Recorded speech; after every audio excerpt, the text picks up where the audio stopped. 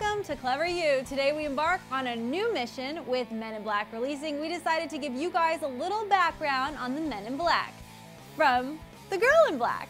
Ready? Let's get started. The Men in Black have been associated with aliens since way back in the 1940s when the first modern UFO sightings began. Increased reports of strange men wearing black suits grew throughout the 1950s and 60s. Most believe these men to be members of the secret government agency sent to thwart the existence of aliens, while others believe these men in black could in fact be aliens themselves. Hey, you in the back, stop texting.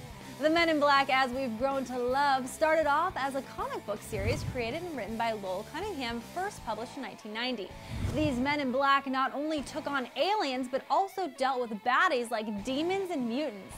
They took their job seriously and weren't above killing to keep their secrets from the populace. The top secret government agency responsible for monitoring and policing paranormal life forms on Earth got a bit of a facelift when it hit movie screens in 1997. They traded in lethal force for their patented Neuralizer, a pen-sized device that wipes the memories of those that encounter either them as aliens and is also used to wipe the memories of former agents when they retire. Man, I wish I had that pen in college. The Neuralizer has become so popular, it was ranked number four on a list of film inventions that people wish were real. So, who are these men in black? Well, Agent K, played by Tommy Lee Jones, is a veteran of the agency. Little is known about his early life, but has been with the agency since his 20s.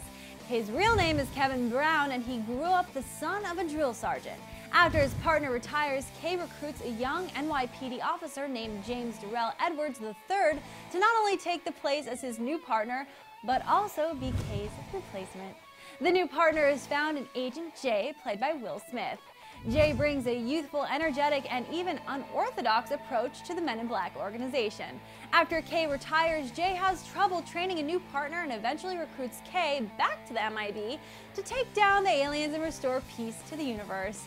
In the third installment of the franchise, Jay must travel back in time to save a young Kay, played by Josh Brolin, from being murdered.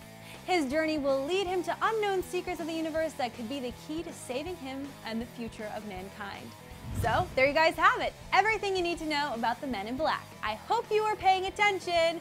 Your homework assignment is to go see Men in Black 3 and report your findings below in the comment section. Until next time, I'm Professor Carrier, and we'll see you next time in class.